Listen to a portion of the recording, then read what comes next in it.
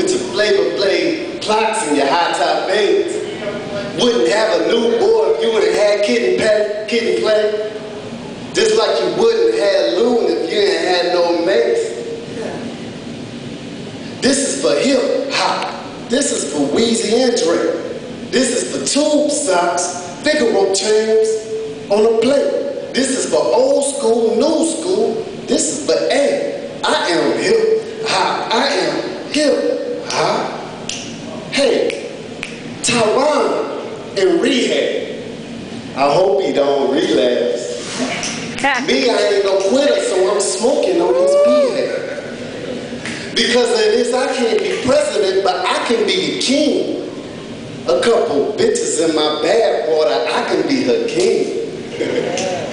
they say that I'm the man, well, I say the same thing. Because my music's really dope, like I'm slinging cocaine. I make music for the good guys, the niggas on that lane. I can't never get a job because I'm never pissing clean. hey, look, look, I'm A-Dot, man, man, look, uh, I've been following a lot about politics lately. I'm, so I'm on some little politics shit right you know I? So, uh, shout out to hip-hop always, you know, spoken word, hip-hop, poetry, it's all the same thing, you know what I mean? But I'm a fan of hip-hop. So,